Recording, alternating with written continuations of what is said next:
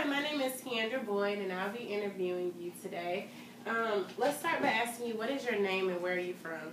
My name is Kimberly Haynes, and I'm from Raleigh, North Carolina. Okay, and what year were you born, Miss Haynes? I was born in 1971. Who lived in your household?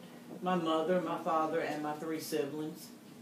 Okay, and um, were were your parents married? Yes, they're they're still married.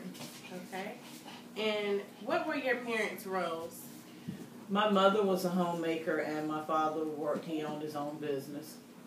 Okay, and um, what did your mother do for the family? My mother stayed at home, and she did all the cooking, the cleaning, helped us with our homework. Um, she pretty much tended to our needs. Okay, and what did your father do for the family? My father, he was the one who went out and worked, and he paid all the bills and bought us all of our necessities that we needed. Okay. Did your father play a major impact on your family? Yes, he did. Um, by him being the only one working, he pretty much made all of the decisions for the household. Okay. And did your mother have a say in the decision making process for the family? No, um, it was pretty much up to my father to make all of the decisions. Okay. Do you think that your father's role with your family plays a role in your decision making process with your relationships? Oh yes, it plays a big part with um, my relationship. Okay. And um, do you feel like your parents had a role on your relationships? Oh yes, um, I guess from me seeing them being together um, all these years, it made me really want to have a steady relationship with um, my husband that I'm with now. Okay. And do you think that marriage roles that marriage roles are important now? Oh yes, I think.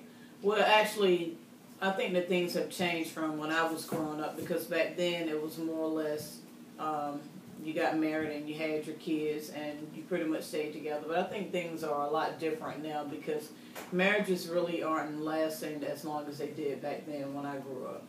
Okay. And um, what do you feel like the marital roles are now in 2014? Wow, they've really changed now. Um, in 2014, it's not so much as the man being in charge back when I was growing up. It's pretty much um, the woman being in charge more or less nowadays because back then the man made, um, he was the one who made the most of the money back then, but now you have women going on to school now getting educated, so a lot of them are making more money than what their husbands are making, so therefore a lot of the women are taking charge now as opposed to the man. Mm-hmm. Um, do you, so you do think that the roles have changed from when you were growing up? Oh yes, very much so. Okay. And um, are you following your mother's role that she played while you were growing up? Oh yes, because I'm a stay-at-home mom myself now. Okay. Well, thank you so much for your time, Ms. Haynes. Oh, you're welcome. Thank you.